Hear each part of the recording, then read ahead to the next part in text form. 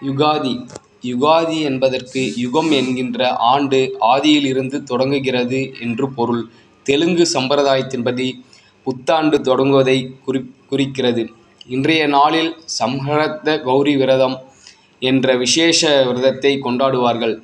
நாம் எல்லோரும் வேத வராக கர்ப்பத்தில் இருக்கின்றோம். அந்த கர்ப்பம் தொடங்கிய நாளும் தேவர்களால் இன்று கொண்டாடப்படுகிறது. சூரியன் பன்னிரண்டு ராசிகளில் நிற்பதை குறிக்கும் வகையில் சௌமான மாதங்கள் என்று குறிப்பிடப்படுகிறது.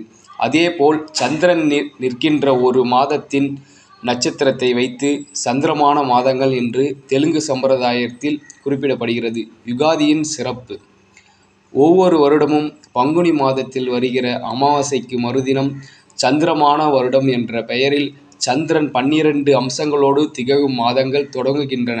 அதன்படி ஒவ்வொரு அமாவாசைக்கு மறுநாள் வரும் பிரதமை முதல் அடுத்து வரும் அமாவாசை வரை கணக்கிடப்படும் மாதங்களுக்கு வடமொழியில் ஒவ்வொரு பெயர் உண்டு.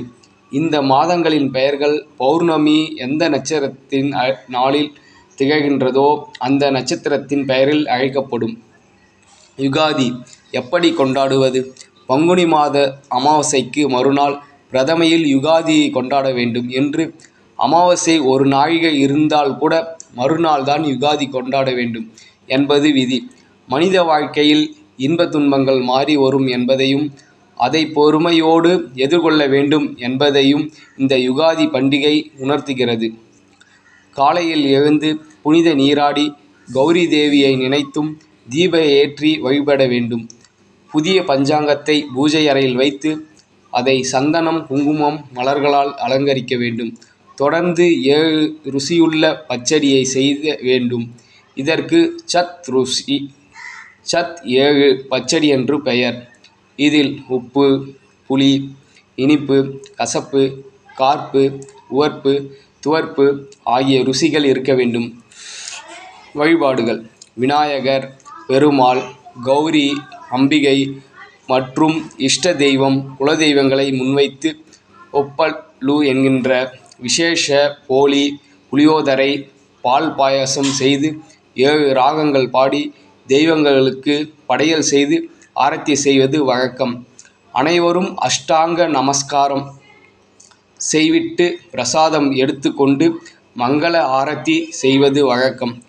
பஞ்சாங்க படனம் யுகாதி பண்டிகையை வரவேற்று ஒரு துதி கூறிய பிறகு அந்த மாதத்தின் பலனை குடும்பத் தலைவர் படிப்பார். இந்த ஆண்டின் இயற்கை வளம் மழைப்பொழிவு அரசாங்கத்தின் மூலம் கிடைக்கும் நன்மை ஆட்சியாளர் நிலை நட்சத்திரங்களின் அடிப்படையில் முற்பாதி நடுப்பகுதி பின்கால பலன்கள் ஆண்டின் கந்தாய பலன்கள் நவகிரகங்கள் எந்த பொறுப்பில் இந்த ஆண்டு முதல் மந்திரிகளாகவும் அரசர்களாகவும் வருகிறார்கள் ஆகிய விவரங்களை பஞ்சாங்க படத்தின் மூலம் அறியலாம். அவர்களால் இயற்கையிலும் மனித வாழ்க்கையிலும் ஏற்படும் மாறுதல்கள் குரு சனி ராகு கேது கிரச்சார முறையில் இடம் மாறுதல்களால் பூமியிலும் மக்கள் மத்தியிலும் எவ்விதமான மாற்றங்கள் எந்த காலங்களில் நிகழும் என்ற குறிப்புகளை படித்தறிவது வழக்கம். யுகாதி பண்டிகை ஒரு ஆண்டாகிய யுகத்தின் தெய்வ அனுகூலத்தையும் உலக மக்களின் வாழ்க்கை நலன்களையும் முன்னதாகவே அறிந்து கொள்ளக்கூடிய கால கண்ணாடியாக திதிவாரம் நட்சத்திர யோகம் கரணம் என்ற ஐந்து விதமான அங்கங்களைக் கொண்ட மங்களகரமான பஞ்சாங்க படலமாக மலர்கிறது. மகாகவி காளிதாசரின் உத்தரகாலாமிருதம் என்னும் ஜோதிட நூலின் முப்பத்தி எட்டாம் பாடல் கீழ்வரும் வரிகள் மூலம் யுகாதி பண்டிகைகளை குறிப்பிடுகிறது வருஷாதி பிரதிபந்த்வேத சஹிதா கிரக்யா ரக்ஷணம் பதே மத்யஹனே நவமி திதௌ பகவதே ஜன்ம பவத்யிதி